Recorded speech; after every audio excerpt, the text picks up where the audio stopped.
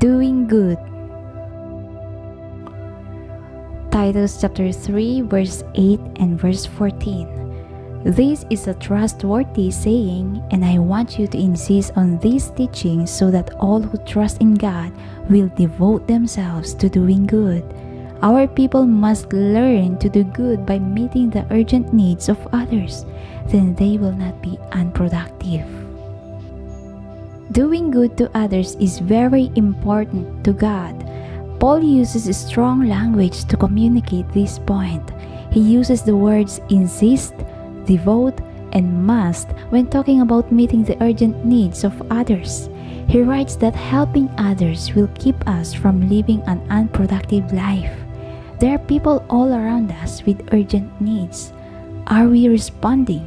Are we exemplifying the love of Christ to them?